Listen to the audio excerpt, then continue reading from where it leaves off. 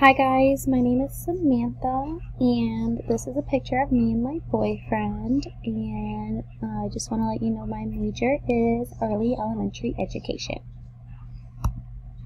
So I picked myth 144, the sun is getting hotter. So here's a little bit about it, um, about the data and that the observations in it.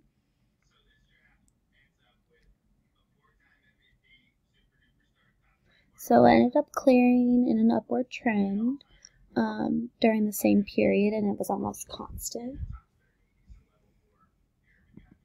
So the research that I found, so ACRIM, which is a um, which is a acronym for the uh, website for the thing for the website, and it shows that it was a slight increase in the TSA, and it gave you the definition of what TSA down there is, and PMOD, which shows a slight decrease. Um, so which one is it? Is it an increase or is it a decrease?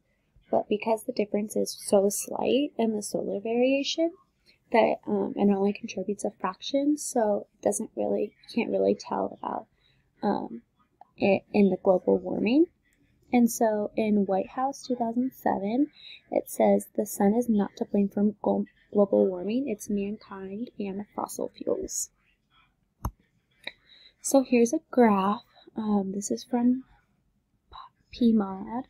It shows that the TSA composition, which is on the top one up here, um, versus the uh, ACRIM TSA composition, which is down here. And the colored lines show the daily values with the solid black line giving uh, eight, the 81 day mean for those days over those years. And my conclusion is that I think it's busted.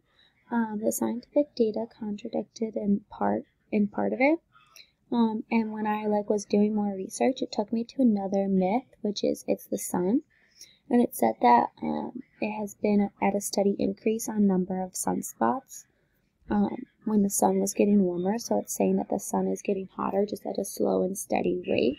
So um, I think that the scientists are proving that with more sunspots, it's showing that it is getting hotter, but just at a steadier rate and not um, all at once.